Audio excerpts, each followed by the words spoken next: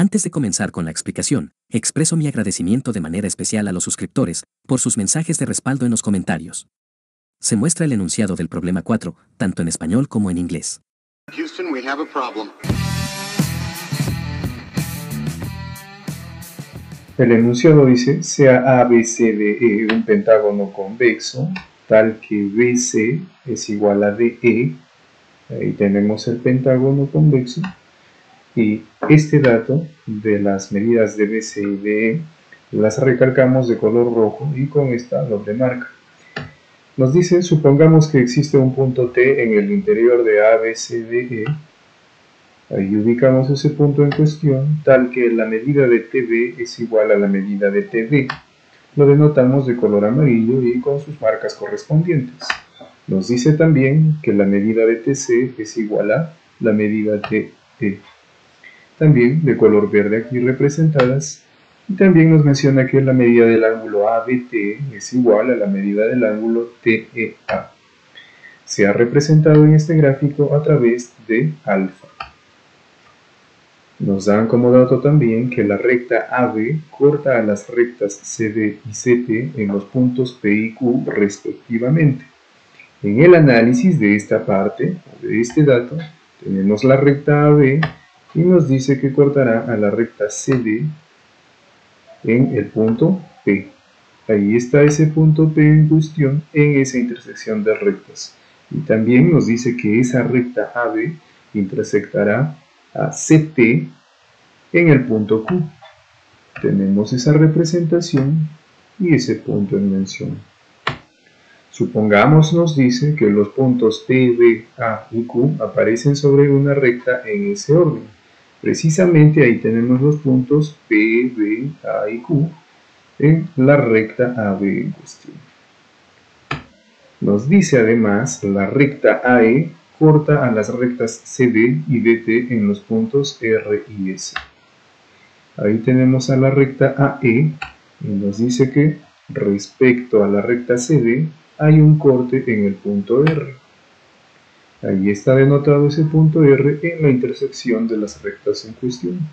Nos dice que también respecto a la recta DT hay un punto de intersección denotado con S. Está la recta DT la recta AE y su intersección en el punto S. Dice, supongamos que los puntos R, E, A y S aparecen sobre una recta en ese orden.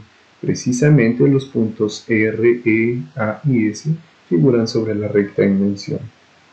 Con ello nos pide demostrar que los puntos P, S, Q y R están en una misma circunferencia lo cual nos da a entender que son puntos concíclicos.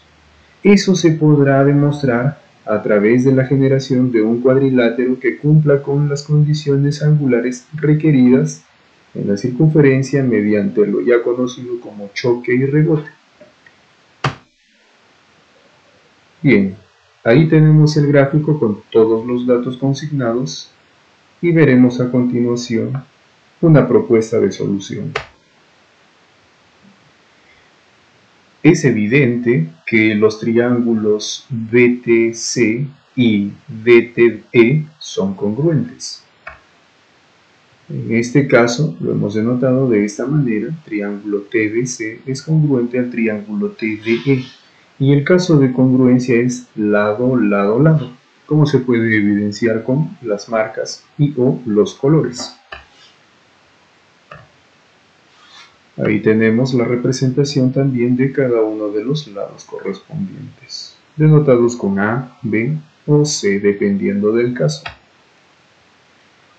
Entre las longitudes A y B tenemos una medida tal como beta, en ambos casos. Ahora bien, fijémonos en el triángulo BQT.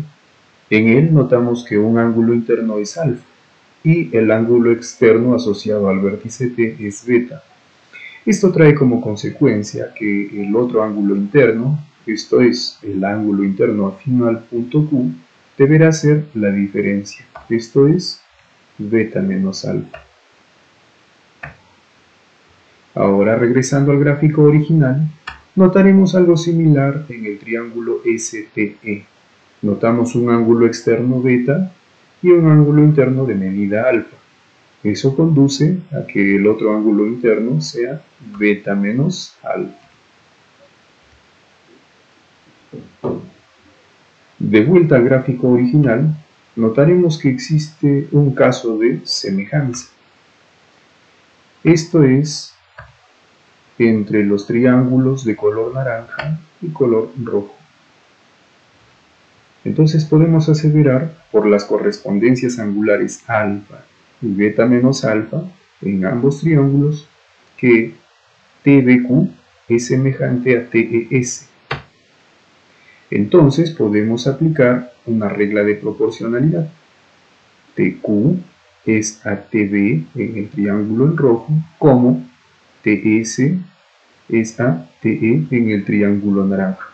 Esto asociado a las medidas angulares alfa y beta menos alfa.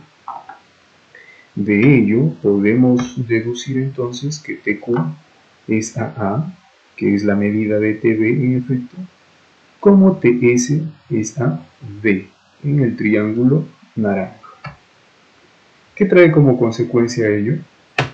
que TQ sea igual a A por alguna constante, que en este caso la hemos denotado por una K, y TS sea igual a B por esa constante en cuestión K. De vuelta al gráfico, tenemos la correspondencia de los segmentos DT, TS y CT, TQ respecto a la propiedad de la potencia de punto. Nótese que T cumple con esa propiedad, puesto que CT por TQ es igual a DT por TS. Eso sugiere que por esos cuatro puntos podría pasar tranquilamente una circunferencia, esto es, los cuatro puntos en mención son concíclicos. Aquí notamos algo característico, y es la semejanza triangular. Nótese que los lados son A y B para el triángulo menor y en el triángulo mayor tenemos A por K y B por K y los ángulos entre esas medidas de lados son congruentes. Entonces aquí las medidas están representadas con phi. Nótese que si acá proponemos un ángulo omega en DSQ, por choque y rebote podemos aseverar que el ángulo QCD también medirá omega. Del mismo modo que si proponemos que la medida del ángulo SQC sea tal como θ, eso trae como consecuencia, por choque y rebote, o por correspondencia de semejanza, que el ángulo SDC también medirá θ. De vuelta en el gráfico, notamos la siguiente peculiaridad, que por diferencia angular, la medida del ángulo ASQ tendría que ser el ángulo marcado en amarillo, que en este caso es omega, menos el ángulo con marca en celeste, que en este caso es beta menos alfa. Esa diferencia será igual a omega menos beta más alfa. Lo propio puede verificarse en la medida angular AQS. Ahí notamos que el ángulo remanente debe ser la diferencia entre θ y beta menos alfa. Esto es, el ángulo AQS tendrá por medida θ menos beta más alfa. Ahora, notemos el cuadrilátero PCTB. En ese cuadrilátero tenemos una medida de un ángulo interno como beta y dos ángulos en la zona externa tales como alfa y omega. Dada esa configuración, ya podemos encontrar la medida del ángulo BPC. Esa medida de ángulo más el ángulo beta dará como resultado la suma de ángulos alfa y omega. Despejando entonces la medida del ángulo BPC, tendremos que eso será igual a omega más alfa y menos beta. Algo similar ocurre en el cuadrilátero RBTE. En ese cuadrilátero podemos determinar la medida del ángulo DRE. Notamos que esa medida angular DRE más beta tiene que ser igual a θ más alfa. Despejando la medida angular de DRE, notamos que eso es igual a θ más alfa menos beta. Ahora sí, de regreso en el gráfico original, nótese esta correspondencia angular. Podemos aseverar entonces que en PSQR se ha generado o se podría generar un cuadrilátero de tipo inscriptible, dado el choque y rebote coloquial. Entonces, nótese aquí que la medida del ángulo QPR es igual a la medida del ángulo QSR. Y además la medida del ángulo PRS es igual a la medida del ángulo PQS. Eso trae como consecuencia finalmente que P, S, Q y R sean puntos concíclicos. Quiere decir que por esos puntos pasará una circunferencia, en este caso denotada de color celeste.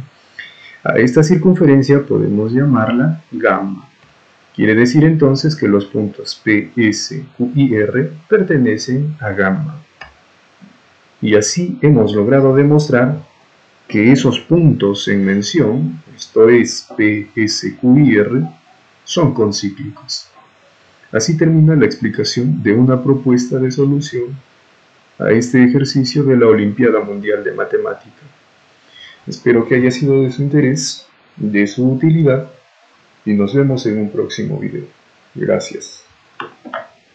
Mención especial se merece el equipo peruano por haber ocupado la posición número 19 en la tabla global, consiguiendo el primer lugar en Latinoamérica, junto con Brasil.